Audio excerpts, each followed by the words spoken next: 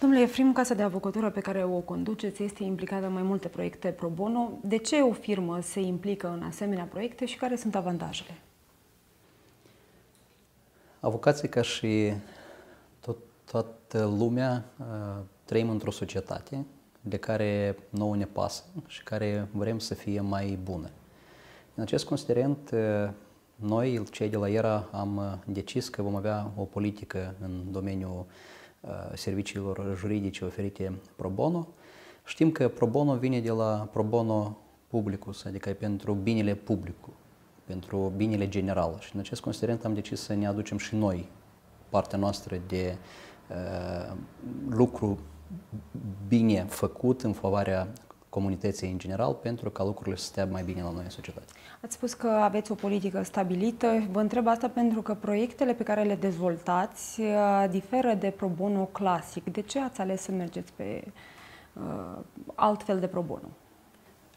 De fiecare dată când vorbim despre uh, servicii uh, vocățești pro bono, ne imaginăm că ele se oferă acelor persoane uh, care din vari motive nu pot să-și plătească un avocat. Noi aici la ERA am vrut să mergem mai departe de acest lucru pentru că o bună parte de, din acest segment este acoperit fie de asistență juridică garantată de stat, care este chemată să ofere Uh, servicii juridice celor care nu își pot permite, fie de diferite uh, ONG-uri sau uh, societăți specializate care se focusează pentru a oferi asistență juridică altor categorii marginalizate. Noi am decis să ne implicăm pro bono acolo unde nu doar că vom ajuta un om sau un grup de oameni concreți, dar în așa mod încât în rezultatul asistenții de care vor beneficia din partea noastră, ei ulterior să poată să aducă plusul lor de valoare. Dacă ajutăm un grup de oameni care lansează o afacere sau de tineri businessmani, atunci aceștia, dacă vor reuși, vor crea locuri de muncă, vor uh, angaja oameni, vor plăti salarii, vor plăti contribui la buget, astfel încât va fi o sinergie între ceea ce facem noi și uh, afacerea oamenilor. Deci, iată, în felul ăsta noi încercăm să ne alegem proiectele pro bono. Recent ați lansat programul pentru tinerii care se avântă în lumea businessului pentru IT. La modul practic, cum se va întâmpla? Va veni uh, tânărul la dumneavoastră sau cum uh, va derula proiectul? Proiectul uh, de servicii juridice pro bono tinerilor care lansează startup-uri în IT vine să confirme ceea ce vă spuneam uh, mai anterior, și anume că uh, oamenii talentați urmează să trebuie să fie susținuți. Oamenii din IT, de obicei, de cele mai deseori sunt talentați în a face produsul lor, dar atrag prea puțin atenție aspectelor juridice care la un moment poate să le complice viața sau chiar poate să le ruineze afacerea. În acest considerent, noi am decis că vom sprijini acești tineri care urmează să se adreseze la noi, să ne spună ce fel de servicii juridice le vom oferi și noi cu mare drag vom face acest lucru în decursul următoarelor șase luni pentru întreg spectrul de servicii juridice, mai puțin reprezentarea în instanță de judecată. Uh, un alt proiect în care v-ați implicat a fost consolidarea rețelei de parajuriști comunitari, care s-a materializat cu instruirea parajuriștilor, dar și crearea unei asociații a lor. Cum credeți, care este motivația pentru ca cei instruiți, dar și alte persoane noi, să se implice în promovarea serviciilor pro bono și oferirea lor de altfel? Acest proiect îl realizăm împreună cu Fundația Soros. Noi am aplicat, de fapt, la un anunț de a lor și am, am fost declarați învingători pentru consolidarea rețelei de parajuriști, care sunt acele persoane care oferă asistență juridică primară în localitățile rurale ei beneficiază pe toată durata acestui proiect de uh, sprijinul și consultanța noastră. Am reușit împreună să ajungem să se asocieze într-o asociație uh, profesională care urmează să le uh, ajute la atingerea scopurilor lor. De aici, de la asistența juridică primară, pornesc toate lucrurile mari, pentru că deseori oamenii nici nu cunosc faptul că li se încalcă un drept și parajuriștii sunt cei care îi ajută. Uh, în principiu, în cadrul acestui proiect, la fel și dezvoltăm, uh, încercăm să pornim uh, dezvoltarea culturii pro bono în Republica Moldova, prin exemplu propriu în mare parte, nu este necesar neapărat ca ele să fie, să fie existe reglementări în acest domeniu, dar dacă fiecare membru a societății, fiecare membru a societății profesioniste, cum este Uniunea Avocaților, va avea uh, o politică de uh, oferire a asistenței pro bono, sunt sigur că lucrurile ar sta mai bine la noi în țară. Un dosar destul de mediatizat este cel al medicilor rezidenți care s-au pomenit în situația că trebuie să întoarcă Ministerului Sănătății peste 200 de mii de lei. Echipa dumneavoastră reprezintă o parte din acești medici și din ceea ce am observat, la fel este vorba despre un caz pro bono, însă care diferă de pro bono clasic. De ce ați ales să-i reprezentați?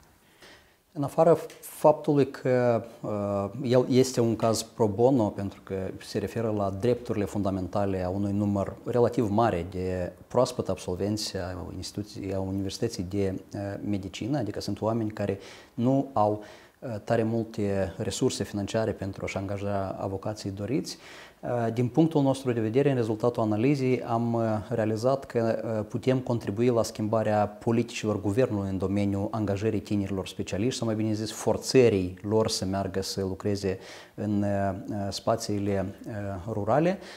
Am depistat probleme de constituționalitate a hotărârii guvernului care obligă Ministerul Sănătății să solicite banii de la acești medici rezidenți și echipa noastră a reușit să obțină ridicarea excepției de neconstituționalitate în judecătoria municipiului Chișinău. Sperăm că acest caz va fi pus pe rolul Curții eh, Constituționale și va fi eh, examinat. În eh, afara, în cazul unei soluții favorabile, aceea care o dorim și o așteptăm noi, în afară de acești peste 103 medici, schimbarea politicilor guvernului poate să aducă, într-un fel, să ajute la alte câteva zeci de mii de oameni, câteva de tineri absolvenți, pentru că reglementările Ministerului Educației în domeniu sunt similare celor din Ministerul Sănătății. Ce planuri are ERA, pe, atât pe termen mediu, dar și uh, pe termen lung, în privința implicării uh, pentru a dezvolta cultura pro bono în uh, Republica Moldova și cine ar trebui să se mai implice?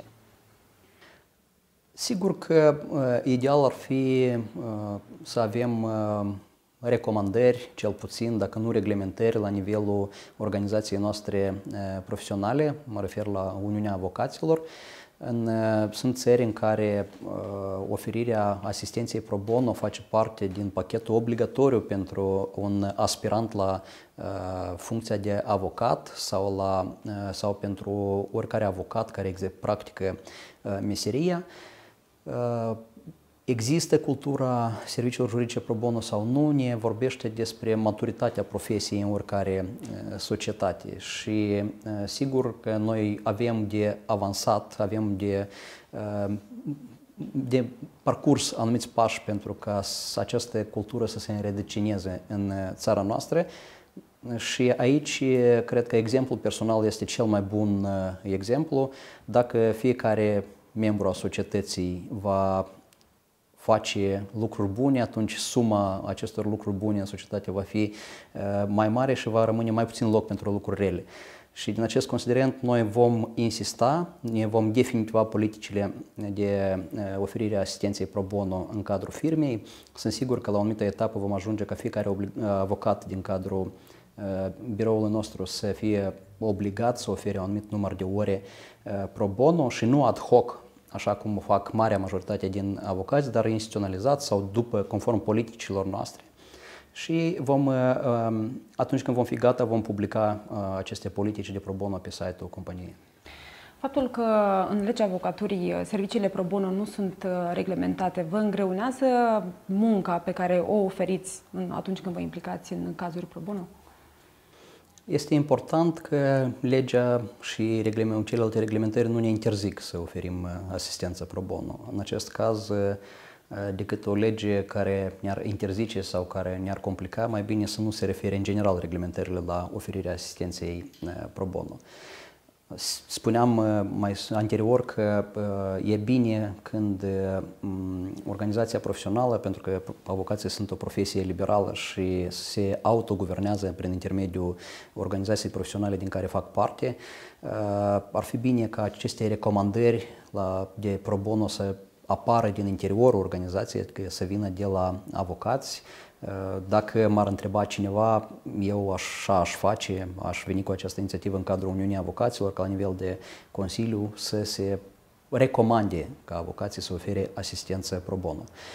Există anumite prevederi în lege care aparent ne-ar încurca, cum ar fi că un contract de asistență juridică nu poate să fie gratuit, și atunci noi trebuie să găsim soluții, spre exemplu, să fie să punem banii din buzunarul nostru sau să scriem suma minimă, pentru că nu există onorare minime pe care trebuie să le practice avocații, astfel încât în astfel de caz noi formal putem să semnăm un contract pe un leu ca să putem să oferim asistență juridică pro bono. Dar asta nu sunt bariere de ne, netrecut pentru cei care vor să ofere asistență pro bono. Fiind zi de zi implicat sau în mediul avocaturii și cunoscând detalii despre activitatea celorlalți avocați, vreau să vă întreb dacă în rândul apărătorilor există o cultură pro bono și dacă cunoașteți și alți avocați care au cazuri pro bono și motivul care stă la baza acestor cazuri. Mai puțin probabil cunosc motivele din datorită căror alți avocați oferă asistență pro bono, pentru că dacă să luăm în, pe larg, ce ar însemna pro bono, asta ar însemna gratuit sau la alte tarife pe care le obișnuiește să le practice un avocat. Cred că majoritatea din colegii mei au sau au avut cazuri când au oferit asistență juridică gratuită. Ceea ce văd eu uh, este lipsa unor abordări sistemice sau existența unor politici la nivel de casă de avocatură sau de, uh, de birou a avocatului în care să zică că eu ofer asistență juridică pro bono uh, aceste categorii sau acestor categorii de persoane sau mă ocup specializat în domeniul ăsta. Pentru că oferirea de servicii pro bono nu înlătură, adică nu o facem în schimbul, uh, în locul uh, lucrul nostru de zi cu zi, nu facem pro bono atunci când suntem uh, mai liberi sau când nu avem alte dosare sau alte servicii de oferit, deci prestăm pro bono la aceeași calitate, exact ca și cum în cazurile în care am fi plătiți și atunci tu nu poți să te ocupi doar cu servicii pro bono. Tu trebuie să-ți asiguri că firma ta merge înainte, dar în același timp că tu și uh, îți respecti propriile politici în acest domeniu. De ce Republica Moldova este restanțieră la acest capitol? Pentru că dacă vorbim despre pro bono în Statele Unite, acest lucru este o normalitate acolo. Pentru că nu poți să treci din uh, uh feudalism, dacă vreți, în capitalism avansat. Uh, există o un proces uh, logic de, mm, prin care urmează să trecem, să ajungem la o anumită maturitate, ca oamenii care fac parte din profesie să înțeleagă că asta aduce bine întregii societăți, aduce bine uh, nu doar uh, numelui tău sau biroul tău de avocați, dar uh, face să trăim într-o societate mai bună. Și atunci, când vom evolua spre aceasta, vom ajunge ca numărul celor care oferă pro bono să fie mai mare sau mult mai mare decât ceea ce este astăzi. Dar uh, pentru a ajunge la această uh, evoluție, uh, oameni al din noi, prin exemplu propriu, arată că aceasta este posibil să o faci în paralel cu afacerea ta care este munca de zi cu zi. De ce ar trebui un client să aibă încredere în serviciile pro bono? Pentru că nu întotdeauna tot ce este gratuit este și calitativ. Da, de cele mai deseori există această percepție că dacă e gratuit, atunci neapărat trebuie să fie de o calitate proastă. Bănuiesc eu că în domeniul nostru numele este ceea ce îți oferă garanția unui serviciu calitativ. Nu a să admit niciodată să ne fie afectată reputația prin servicii de calitate proastă și atunci în situația în care am decis că vom lucra cu un client din acel, considerent, din acel moment, noi depunem întreaga diligență pentru a apăra interesele clientului și faptul că suntem plătiți sau este pro bono, deja aici nu mai contează. Există diferență la nivel personal atunci când munciți, de exemplu, într-un contract în care scrie 0 sau 1 leu remunerare apare și într-un alt contract în care pentru oferirea serviciilor juridice primiți mai multe zerouri, ca să zic așa. Din moment ce uh, ne alegem cazurile de reprezentare pro bono conform propriilor politici, am zis că nu, pentru noi nu contează. Există acolo uh, zerouri, cum ați menționat în contract, sau este uh, pro bono. Noi ne vom face meseria cu aceeași tragere de inimă. Deseori uh, plăcerea de la a face bine dezinteresat este mult mai mai intensă decât atunci când tu doar ești plătit pentru, pentru lucru, pentru că înțelegi că contribui la a face lucrurile mai bune în comunitatea în care trăiești, în societate, în general și asta nu poate să nu placă. Dumneavoastră sunteți avocat de mulți ani. Care a fost primul caz în care ați reprezentat pro bono? De ce l-ați luat și cu ce s-a soldat? Mi-e complicat acum să, să vă zic.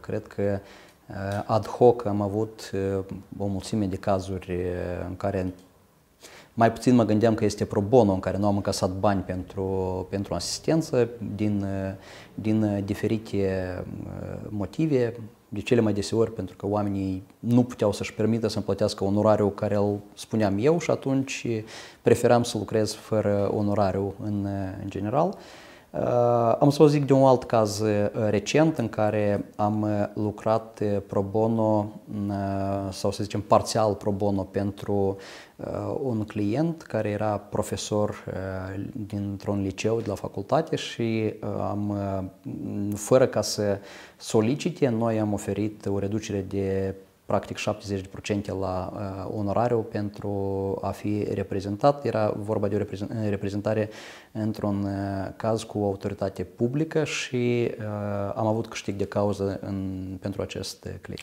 Și o ultimă întrebare, activitatea pro bono dăunează faimei uh, de avocat bun sau contribuie la construirea acestei uh, imagini?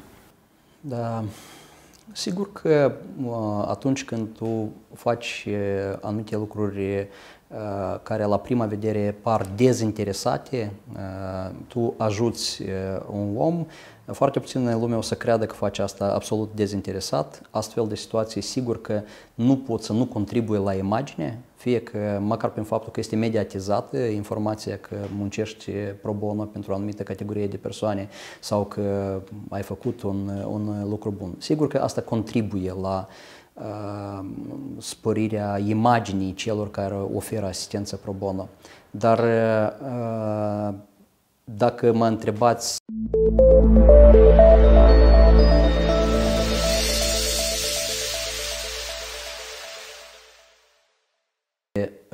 beneficiat în rezultatul asistenței pro bono va fi mult mai mare și în așa fel vom asigura și un acces la justiție și vom trăi într-o societate mai bună. Vă mulțumesc pentru timpul și răspunsurile acordate și vă doresc mult succes.